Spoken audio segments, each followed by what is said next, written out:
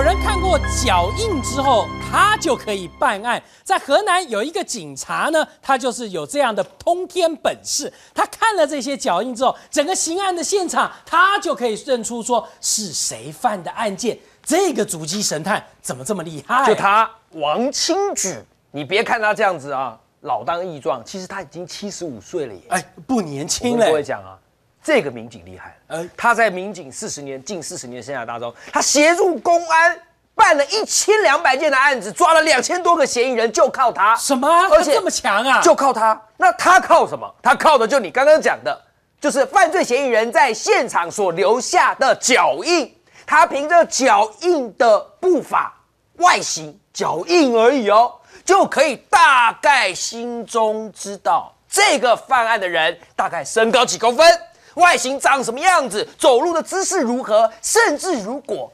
他一有灵感，他连这个人的外貌大概长什么样子，他都可以有一点 feel 哦。天啊，他这么厉害、啊！，好，我们就来讲，他曾曾经办过一个案子，在二零一零年一月四号那一天，画面中你看到他就在办案，他办什么案？原来当地气温很冷，所以种蔬菜一定要有棚子遮，但是不晓得突然把哪边冒出来一个毛贼，哎他竟然把这些蔬农辛辛苦苦种的蔬菜的棚子全部割烂，啊，拿小刀割烂。蓄意破坏，哎，那这样子蔬菜会怎么样？冻死啊你知道吗？造成二十多个蔬农血本无归，数百人造成数百万的损失。嗯因为你知道，一个农一个蔬农也要养很多人啊。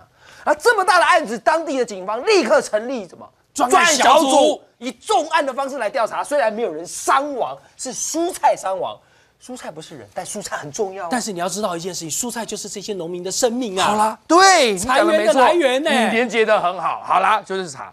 那结果呢，就想到，哎，鸡找不到蛛丝马迹怎么办？就没想到附近的田里面竟然有个什么？嗯有什么脚印。哎脚印那公安队长就想到叫王清举儿来，叫王大哥来，王大哥来啊！哎呦王大哥这么厉害啊一来他就开始看看看看看，并且在现场做好现场图。嗯就我刚才讲了，刚好这些足迹把脚印的资料留存下来。对，然后后来呢，他们就专案小组就研判，这个人呐、应该就是村里的人，嗯，应该是村里的人。那范围缩小了对，那现在已经有有一些这些蛛丝马迹了，专案小组决定自己办。就王清宇就说不用啦，抓个毛贼而已，看我的。啊你去把，你去把符合这脚印特征的人，公安队长说这脚印特征你到底看出了什么？我告诉你，这男的大概一百七十公分。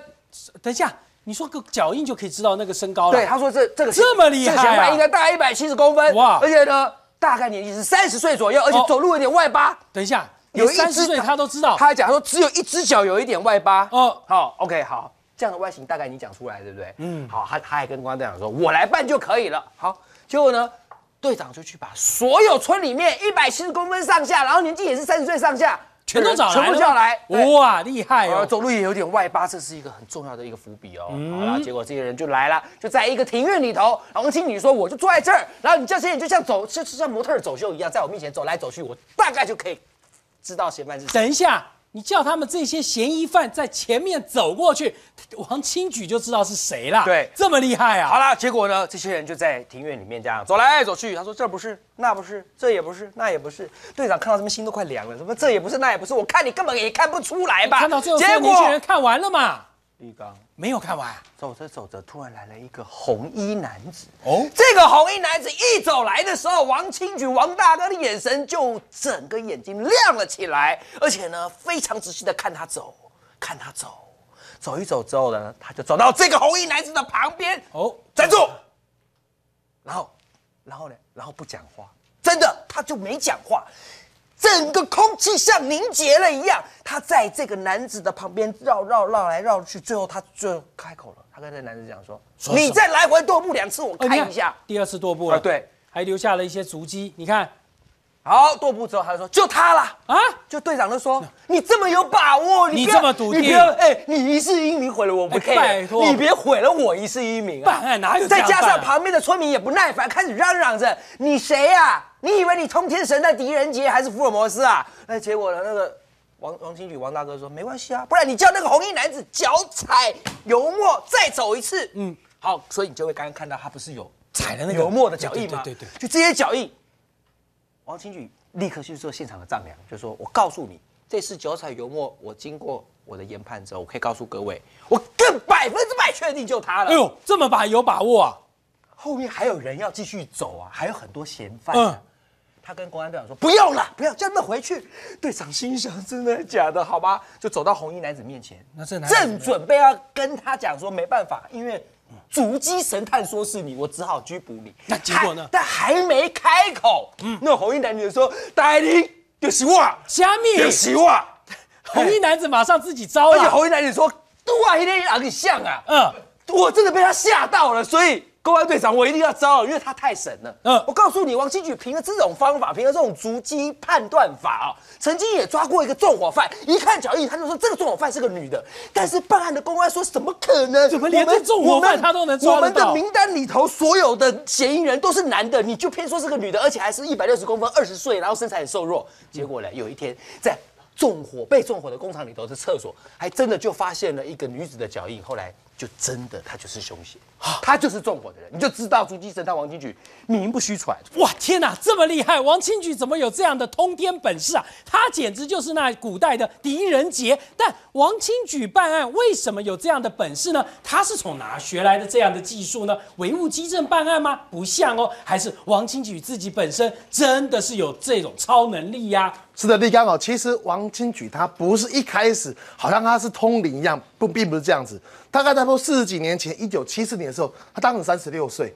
其实他一开始他都只是公安室里面的一个秘书文员，坐办公桌的哦可是呢，突然一个命令说他要调去侦查科当刑警，哎，什么啊？哇，他那时候就紧张了，36因为他岁从来没有到过基层部队去，嗯，当过这样刑警的工作，就他一去，结果他一去呢，运气很不好，嗯，一到当地一报道，没两天，在当地周口市的那个汽车站呢，就发生个大窃案，当当时他他们的会计室里面有四千两百块的人民币现金不见了，嗯，哇，这个当时算是个大数目，以到大以到现在算大概算上百万台币的数字。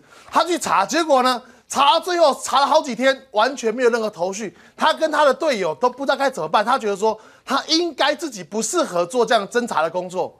这时候他就陷入这样子的一个非常非常痛苦的时候的话呢，刚好发现了发现了，哎，隔壁信阳，他们隔壁隔壁县信阳发生了纵火案，结果呢，信阳当地的公安呢，请来了一个叫做苗春清的一个神探，而这个神探他知道这个人是什么是什么背景，因为他其实是马玉林的大徒弟。这马玉林就是他们在这个就是刑警界里面称为马神仙。其实呢，他们的学问的来讲是把人的脚印分带分了七个部位。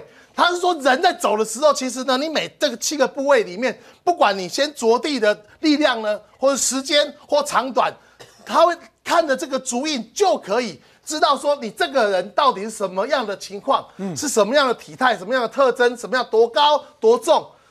也就是说呢，人的脚印大概就跟指纹一样，差不多那种感觉。你的说意思就是说，只要脚印走在地上一踩下去那一刹那，所有的踪迹，所有你这个人的特征都会在脚印里面呈现了。没有错，凡走过必留下痕迹。